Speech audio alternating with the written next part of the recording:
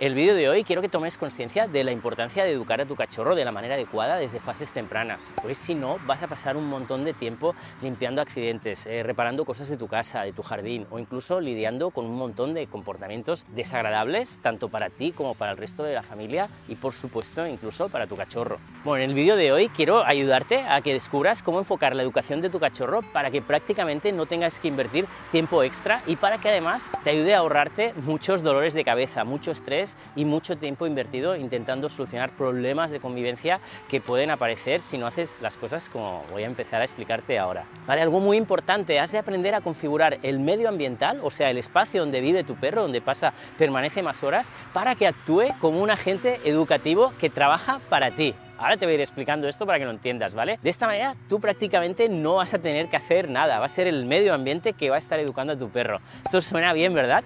Pues bueno, pon atención porque en este vídeo te voy a explicar claves, te voy a dar claves muy importantes para que puedas conseguir esto.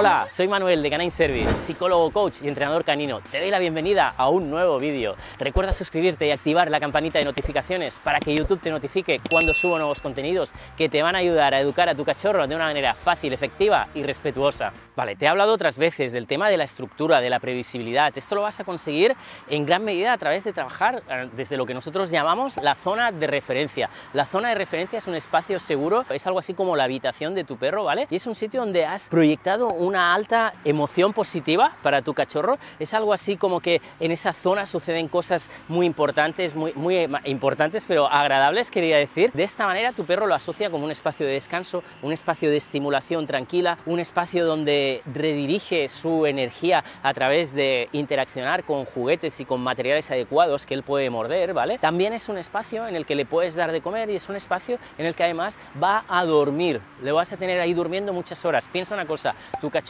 va a tener que dormir entre 16 y 18 horas. Eso son muchas horas, ¿verdad? ¿Por qué no le damos una estructura previsible, como siempre te digo, y lo ponemos a dormir, a, pasar estas horas de descanso en el sitio adecuado, en su zona de referencia, y además horas de actividad eh, las podemos redirigir, no siempre vamos a tener que estar encima de nuestro cachorro jugando o enseñándole cosas, sino que hay veces que queremos que él aprenda ya a gestionar eh, momentos de soledad o de independencia más que de soledad, ¿no? Tú estás haciendo una cosa, viendo la televisión, leyendo un libro, lo que sea, cocinando y tu perro, tu cachorrito está en su zona de referencia tranquilo, royendo un hueso, por ejemplo, en vez de dando vueltas y corriendo por toda la casa, ¿vale? Entonces vamos a estructurar el día a día para que permanezca muchas horas en esa zona de referencia con una alta proyección emocional positiva, ¿de acuerdo? El punto uno que te acabo de explicar es clave, si no vas a tener un cachorro descontrolado, un bebé con uñas y dientes por toda la casa, haciendo cosas que no tiene que hacer, ¿vale? Desde la zona de referencia, desde estos momentos de calma, lo vas a conducir a su lavabo, a su sitio adecuado para hacer sus necesidades y le vas a dar esa estructura diaria previsible, ¿vale? Si lo haces así, vas a dejar de limpiar pipins constantemente. Esto está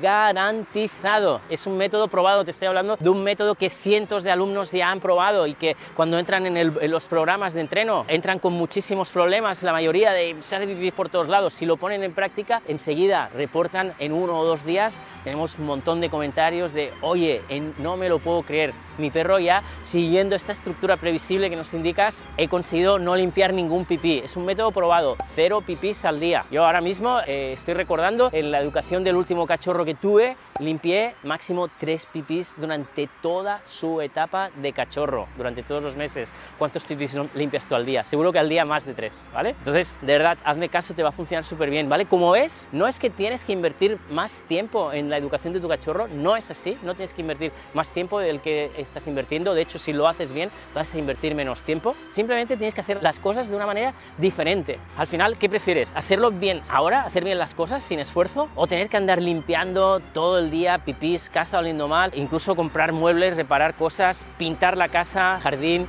los aspersores, todas esas cosas que sabes que pasan, ¿no? También muchos alumnos no pueden tender la ropa en el jardín porque el perro se lo rompe la ropa, se empieza a jugar con ella. Pues bueno, haz las cosas bien, darle esta estructura previsible, vas a ver cómo te va a ayudar a evitar todos estos problemas que te he descrito. Vamos con el consejo número 3 para que puedas seguir avanzando dentro del programa Estructuras Previsibles. Antes permíteme un breve inciso y es decirte que si quieres ampliar la información de este vídeo, necesitas ayuda o quieres acceder a un paso a paso mucho más detallado, puedes visitar mis programas de acompañamiento abajo en la descripción y en el contenido fijado en la parte de arriba te voy a dejar el link de contacto. Y si estás interesado en recibir ayuda de manera presencial y puedes desplazarte a mi escuela en Plachadaro, aquí en la provincia de Girona, en España, abajo en la descripción y en el comentario fijado en la parte de arriba también te voy a dejar link de contacto. Y ahora sí, seguimos. Fíjate que le vamos a aportar bastante previsibilidad a lo largo de los días, a lo largo de estos meses tan importantes que tu perro tiene que estar muchas horas en casa, a lo mejor ya ha empezado a salir a la calle, pero da igual, vas a seguir con las estructuras previsibles. No quiere decir que tiene que ser cronometrado siempre como un robot, hacer todo a la misma hora, pero más o menos, más o menos parecido, ¿no? Esto le va a ayudar muchísimo. Piensa que es muy pequeñito, toda la previsibilidad que le aportes le va a ayudar muchísimo, ¿vale? Fíjate, hemos dicho que duerme entre 16 y 18 horas, te quedan pues igual unas 6 horas en las que tu perro está despierto y en esas seis horas deberías ser capaz de distribuirlas de tal manera que hagas, por ejemplo, las salidas al VC, al lavabo provisional o ya a la calle, ¿vale? Él sabe, como que tiene esa previsibilidad, pues ya va a estar esperando, ¿vale? Ahora me toca salir a la calle a hacer mis necesidades o, me llevan a, mi lavabo provisional a hacer las necesidades, ¿no? ¿Verdad que tienes que interaccionar con él? Eh, ¿Quieres hacer cosas junto a él? Pues dos minutitos, por ejemplo, para enseñarle dentro de casa cómo utilizar la correa. Te he hablado en otros vídeos lo importantísimo que es un buen manejo de correa desde edades tempranas para prevenir problemas de comportamiento, reactividades, agresividades desde la correa, ¿vale? Luego, enséñale ya en casa a rechazar las cosas del suelo, solo eh, entrenando dos, tres minutos, o sea, un juego al final es que hagas las cosas diferentes. Seguro que estás jugando con tu perro en algunos momentos, haz un juego un poquito lúdico, son ejercicios súper sencillos, pero que lo van a preparar para que luego salga a la calle de manera exitosa, sin tirar de la correa, yendo bien de la correa, rechazando las porquerías del suelo o gestionándolas de una manera satisfactoria para ti y para él, ¿vale? Todo esto te va a facilitar muchísimo, muchísimo la vida, vas a poder estar mucho más relajado tanto tú como él. Entonces, para acabar, para finalizar el vídeo, fíjate, estructuras previsibles a lo largo de todo el día, más o menos que pasen cosas parecidas todos los días, te va a ayudar muchísimo. Piensa que todo lo que hagas ahora después te va a ayudar a poder ser mucho menos flexible, pero que él se porte mucho mejor, sea un perro mucho más equilibrado, un perro con capacidad de regular sus impulsos, un perro con autocontrol, un perro mucho más preparado para afrontar las situaciones diarias que tiene que afrontar contigo a lo largo de su vida. Bueno, espero haberte ayudado. Recuerda suscribirte para recibir más contenido que te va a ayudar a educar a tu cachorro de manera efectiva y sin enfados. Nos vemos. Chao.